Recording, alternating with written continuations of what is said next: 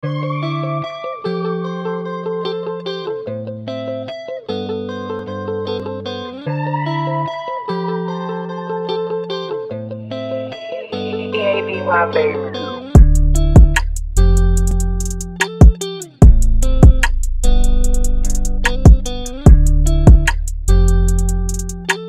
Salé s'est qualifié au top 8 après une épique remontada hier contre l'AS Police du Mali. Après un bon début de match des Maliens qui ont mené au score jusqu'au troisième quart-temps, les Marocains ont mis du temps pour entrer dans le match et accorder leur violon face au bon jeu intérieur de l'AS Police.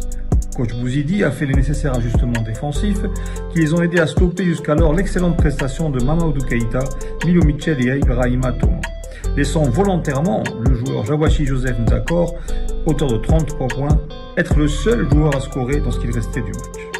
La défense de zone des Marocains a fait le reste car les Maliens n'ont pas réussi à s'adapter à cette bonne défense des espaces et ont perdu la confiance et l'enthousiasme qu'ils qu avaient affiché en début de match. Ajoutez à cela la bonne prestation de l'international marocain Najeh qui signe son premier double-double avec 13 points 12 rebonds et surtout l'excellente prestation de Teres Toglin, auteur de 40 points qui a permis à la Salé de revenir sur le match et de l'emporter 88 à 79.